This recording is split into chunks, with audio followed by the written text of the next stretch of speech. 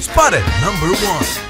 Muling inakusahan ng PBA player na si Calvin Abueva ang kanyang asawang si Sam Abueva matapos ibulgar ng misis nito ang kanyang pananakit dito sa pamagitan ng Instagram post. Unang itinanggi ni Calvin ang nasabing paratang ng kanyang asawa dahil puro umano kasinungalingan ang sinabi nito nang mag-live video ito at durugin ang kanyang pagkatao. Sinay pa ni Calvin na matagal na silang hiwalay ni Sam kaya hindi umano dapat na paniwalaan ang mga sinasabi nito laban sa kanya.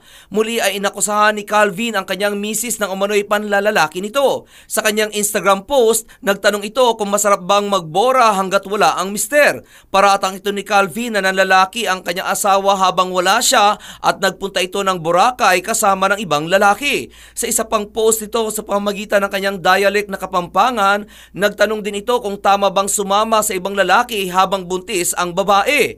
Una nang inakusahan ni Calvin noon ang kanyang misis ng panlalalaki, ngunit hinamon ito ni Sam na ilabas ang ebidensya na talagang nanlalaki siya.